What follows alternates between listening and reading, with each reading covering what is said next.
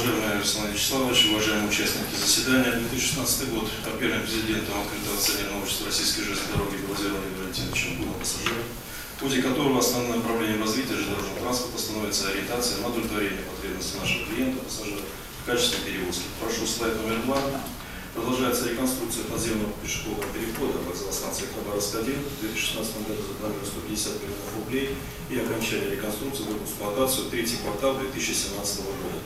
Как уже прозвучало в докладе Виталия Евгеньевича э, по вводу 50% скидки в летний период, прошу слайд номер 3, уже на сегодняшний день поступили заявки на перевозку детей в количестве 14 550 детей. Это на 86,5% выше уровня прошлого года. Основные направления исследованных групп детей являются железная станция Ружина, Владивосток, Смоленина, Тихоокеанская, Бурья. Подвижный состав и обслуживающий персонал готов к данным перевозкам.